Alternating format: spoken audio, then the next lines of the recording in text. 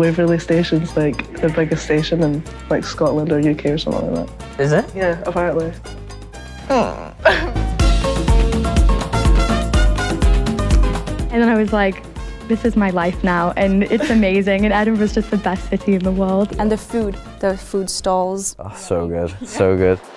I knew that I wanted to live in Edinburgh the moment that I got here. Edinburgh's perfect for me. The architecture is beautiful, the streets are beautiful. And I immediately was just like, I have to live here. This is gorgeous. It just had an immediate connection with the city.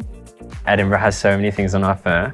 All right, please tell me more. Music, food, festivals, Galleries, cinemas, museums, restaurants.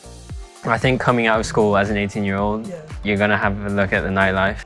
Yeah, all the clubs are great. You can have so much fun with a night out in Edinburgh. I feel like it's got good nightlife, but it's also got good, you know, aspects in like coffee shops. If you're the kind of person who studies best in a cafe, so many options to choose from. Yeah. In terms of summer months, Edinburgh is the best, I think. Yeah. You know, you have the meadows, Arthur's Seat, having Portobello as well.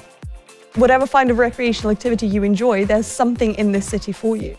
One thing that really caught me was the Fringe Festival. I did not know the Fringe was a thing. The whole city just transforms into this massive, massive festival. You'll be blown away.